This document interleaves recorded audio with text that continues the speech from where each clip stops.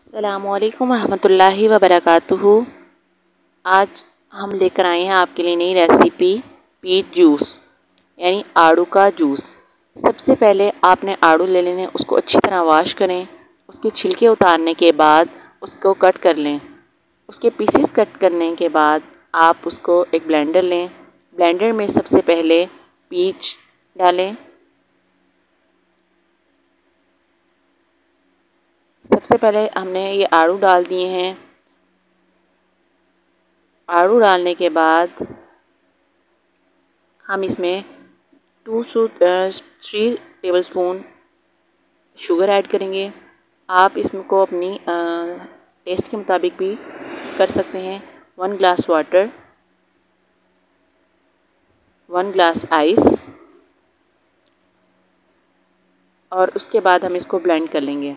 इसको हम अच्छे से ब्लेंड करेंगे। तकरीबन एक दो मिनट जो है वो इसको ब्लेंड करेंगे ताकि आड़ू जो है वो अच्छी तरह ब्लेंड हो जाए। जी, हमारा मज़ेदार आड़ू का जूस तैयार है।